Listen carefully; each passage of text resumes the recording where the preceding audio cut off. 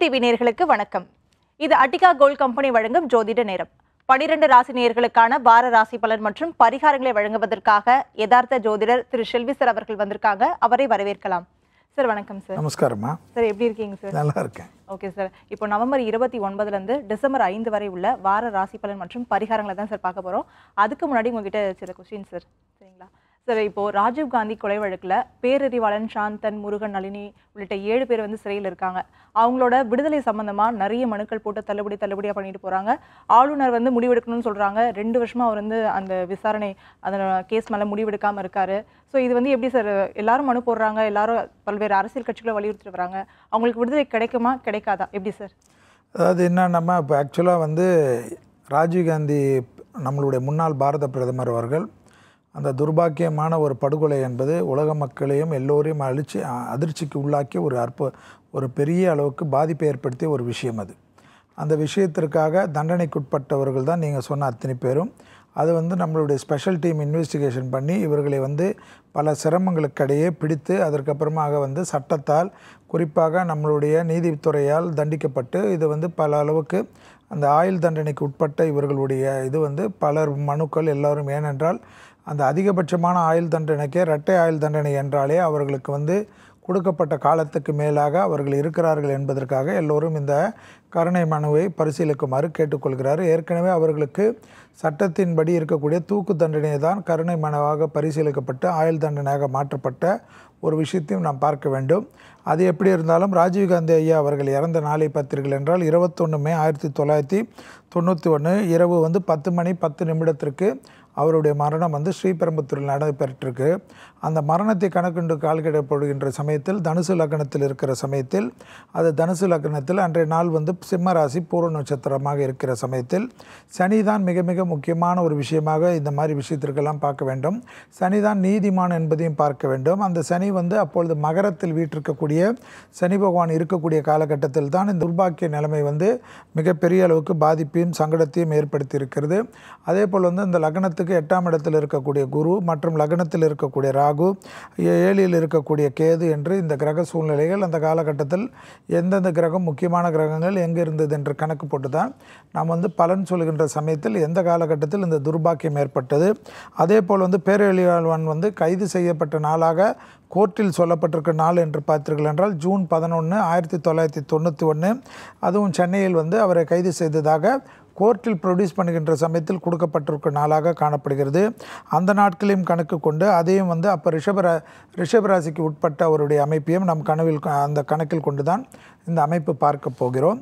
எனவே கண்டிப்பாக வந்து பலவிதமான மனுக்கள் பலவிதமான நிறைய பேருடைய வேண்டுகோள் அதே போல் நிறைய விதமான சட்ட சிக்கல்கள் எல்லாம் அங்கே சுற்றி இங்கே சுற்றி சுப்ரீம் கோர்ட்டுக்கு போய் திருப்பி ஹைகோர்ட்டுக்கு வந்து திருப்பி லோயர் கோர்ட்டில் வந்து திருப்பி இது வந்து ஒரே அந்த இடத்துல எப்பொழுதும் வீசிய இடத்துக்கு திருப்பி திருப்பி வரக்கூடிய அமைப்பாக இந்த மனுக்கள் வந்து அந்த காலகட்டத்தில் அரசாங்கத்தில் வந்து நம்மளுடைய தொ ஜூனியர் விகடன் மற்ற விதத்தில் பார்த்தீர்கள் என்றால் ஒரு மனு கொடுத்தால் அது சுற்றி சுற்றி ராக்கெட்டாக வந்து வந்த இடத்துக்கே வரும் என்பதைப் போல தான் இந்த மனுக்கள் வந்து வந்து கொண்டிருக்கிறது. ஏனென்றால் கொல்லப்பட்டவர் வந்து இந்திய திருநாட்டினுடைய முன்னாள் பாரத பிரதமர் என்பதை ஞாபகத்தில் வைத்துக்கொள்ள வேண்டும். உலக மக்களுக்கும் உலகத்தில் இருக்கக்கூடிய தலைவர்களுக்கெல்லாம் மிக மிக பிடித்தமான ஒரு தலைவராக அது இல்லாமல் இந்தியா திருநாட்டில் ஆளுகின்ற ஆண்ட பரம்பரையிலிருந்து ஆண்ட ஒரு பிரதமராக இருக்கக்கூடிய அமைப்பினால் இது வந்து மிக மிக சென்சிட்டிவான ஒரு விஷயமாக. ஏனென்றால் இதில் வந்து எந்த ஒரு முடிவு எடுத்தாலும் அது உலகத்தில் இருக்கக்கூடிய மற்ற நாட்களும் மற்ற அமைப்புகளும் கேள்வி கேட்கக்கூடிய அமைப்புகள் ஏற்படலாம். இப்பொழுது வந்து காங்கிரஸ் ஆட்சி இல்லாமல் பிஜேபி ஆட்சி இருக்கக்கூடிய காலகட்டத்தில் கண்டிப்பாக பிஜேபிக்கு வந்து இது வந்து தர்ம சங்கடமான சூழ்நிலையான ஒரு அமைப்பு ஏற்படும். ஏனென்றால் இவர்கள் வந்து முன்னாள் பிரதமரையுடைய விடுதலை இதில் வந்து ஒரு அவசரப்பட்டு ஒரு முடிவு எடுத்தாலும் அந்த முடிவுகள் வந்து அவர்களை விடுதலை செய்ய வேண்டும். சட்டப்படி அவர்களுக்கு எல்லா விதமான அமைப்புகளும் இருக்கிறது என்று விடுதலை செய்தாலும் அது பல தரப்பட்டால் இன்றைக்கு குரல் கொடுப்பவர்களே நாளைக்கு வேறு விதமாக பேசக்கூடிய அமைப்பெல்லாம் ஏற்படலாம். ஆனால் எது எப்படி இருந்தாலும் நாம் பார்க்கக்கூடிய அமைப்பு வந்து கிரக சூழ்நிலைகள். இந்த கிரகத்தில் இந்த வந்து விடுதலை ஏற்படுமா ஏற்படாதா என்றது தான் நீங்கள் இப்பொழுது பார்க்கிறீர்கள். கண்டிப்பாக இப்பொழுது வந்து வாக்கியப்படி திருக்கணித வாக்கியப்படியும் நம் திருக்கணிதத்தின்படி விட்டுட்டு பொதுவாக விஷயங்களை பேசுகின்ற சமயத்தில் உலகத்துக்கு உண்டான பொதுவான விஷயங்களை பேசுகின்ற சமயத்தில் வாக்கிய பஞ்சாங்கப்படி ஏற்கனவே வந்து ராகு கேது பயிற்சியாகி இப்பொழுது குரு பயிற்சியாகி நீச்சத்தில் மகரத்தில் இருக்கக்கூடிய குருவானவர் கண்டிப்பாக நாம் பார்க்க வேண்டும். அதே சமயம் இப்பொழுது வந்து இருபத்தி ஏழாம் தேதி அதிகாலையில் ஐந்து இருபத்தி ரெண்டு மணிக்கு வரக்கூடிய டிசம்பர் மாதத்தில் வரக்கூடிய சனி பயிற்சி என்பது தனுசு ராசியிலிருந்து மகர ராசிக்கு பயிற்சி ஆகிறார் எந்த சமயத்தில்? அதாவது ராஜீவ்காந்தியுடைய இது வந்து தொண்ணூற்றி ஒன்றாம் ஆண்டு நடைபெற்றது. தொண்ணூத்தொன்னாம் ஆண்டு இருபத்தொன்னாம் தேதி மே மாதம் நடைபெற்ற இந்த அமைப்பு. அதாவது இப்பொழுது வந்து இருபத்தொம்போது வருடம் முடித்து இருபத்தி முப்பதாவது வருடத்துக்குள்ளாக வரக்கூடிய காலகட்டம். அந்த முப்பதாவது வரக்கூடிய காலகட்டத்தில் தான் அதே சனி வந்து மகரத்தில் இருப்பதையும் நாம் பார்க்கின்றோம். அந்த மகரத்தில் அதே போல் தான் இந்த வந்து எந்த விதமான கஷ்டங்கள் மனிதர்கள் இருந்தாலும் முப்பது வருடம் போல் தாழ்ந்தவனும் இல்லை முப்பது வருடம் போல் வாழ்ந்தவனும் இல்லை என்பதுதான் ஜோதிட சாஸ்திரத்தின் உண்டான உண்டான அமைப்பு. அடுத்த வருடம் வந்து மே மாதம் வந்தால் முப்பது வருடம் முடிந்து விடக்கூடிய அமைப்பாக காணப்படுகிறது. இந்த ராஜீவ்காந்தியுடைய கொலை வழக்கு இருபத்தொன்று மே ஆயிரத்தி தொள்ளாயிரத்தி தொண்ணூற்றி ஒன்றில் ஏற்பட்டது அமைப்பில் பார்த்தீர்கள் என்றால் ரெண்டாயிரத்தி இருபத்தொன்று என்று கணக்கில் பார்த்தார்கள் என்றால் முப்பது வருடம் முடிந்து இருக்கும் இப்பொழுது இருபத்தொம்பது வருடம் முடிந்து முப்பதாவது வருடம் நடந்து கொண்டிருக்கின்ற காலகட்டத்தில் அதே இடத்தில் எந்த இடத்தில் சனி இருக்கக்கூடிய காலகட்டத்தில் நடந்ததோ அதே இடத்தில் சனி வரக்கூடிய இந்த இருபத்தேழாம் தேதி பன்னெண்டாவது மாதம் ரெண்டாயிரத்தி இருபதாம் ஆண்டு சனியுடைய அமைப்பு மாறக்கூடிய காலகட்டத்தில் அதில் இன்றையிலிருந்து அதாவது இருபத்தி ஏழாம் தேதி பதினோராவது மாதம் இருபத்தி ஏழு பதினொன்றிலிருந்து அதனுடைய வீரியம் ஆரம்பித்துவிடும். கண்டிப்பாக இந்த சனியுடைய மாற்றம் இருபத்தேழு பதினொன்று ரெண்டாயிரத்தி இருபதுலேருந்து இதனுடைய மாற்றம் ஒரு தீர்மமான மாற்றங்கள் ஏற்படுவதற்குண்டான சாத்தியக்கூறுகள் நிச்சயமாக ஏற்படும். அந்த மாற்றங்கள் பலருக்கு பெரிய அளவுக்கு சந்தோஷத்தையும் பெரிய அளவுக்கு ஆச்சரியத்தையும் ஏற்படுத்தக்கூடிய மாற்றமாக தான் இது காணப்படும். எனவே இந்த ஃபைனல் மாற்றங்கள் என்பது இந்த சனி வரக்கூடிய காலகட்டம் என்பதனால் இருபத்தேழு பன்னிரெண்டு வாக்கியபடி ரெண்டாயிரத்தி இருபதாம் ஆண்டு வரக்கூடிய இந்த மகரத்துக்கு வரக்கூடிய சனி அந்த காலகட்டத்தில் குருவின் நீச்ச பங்க ராஜயோகத்தை கொடுக்கக்கூடிய சனியால் கண்டிப்பாக எந்த சனி மகரத்தில் இருக்கக்கூடிய சமயத்தில் இந்த துர்சம்பவம் நடந்ததோ இந்த துர்மரணம் நடந்ததோ உலகமே ப பதப்பதிக்கக்கூடிய ஒரு பேரிழவு ஏற்பட்டதோ பேரழிவுகள் ஏற்படுத்த அந்த மரணத்தினுடையான விமோசனம் அந்த மரணத்தில் ஏற்பட்ட அனைத்து விதமான அமைப்புகளுக்கு உண்டான பாதனை ஜ- தண்டனைக்கு உட்பட்டவர்கள் அவர்கள் செய்தார்களா செய்யவில்லையா என்ற அடுத்த டிபேட்டெல்லாம் பார்த்து கொள்ளலாம். ஆனால் அவர்களுக்கும் ஒரு சுவாசிக்கக்கூடிய காலகட்டம் சுதந்திரமான அமைப்பு எல்லாம் எந்த சனியால் அவர்களுக்கு இவ்வளோ கெடுதல்கள் ஏற்பட்டதோ அதே சனியால் தான் நிச்சயமாக அவர்களுக்கு அந்த அமைப்பிலிருந்து ஒரு தீர்வு ஏற்படும். எனவே அந்த தீர்வு ஏற்படக்கூடிய காலகட்டம் இருபத்தேழாம் தேதி பன்னிரெண்டாம் மாதம் சனி வந்தாலும் அதனுடைய ஒரு மாதத்துக்கு உள்ளாக அந்த சனியுடைய வீரியம் முழுவதுமாக மகர ராசிக்கு அலைப்பாய ஆரம்பித்துவிடும்.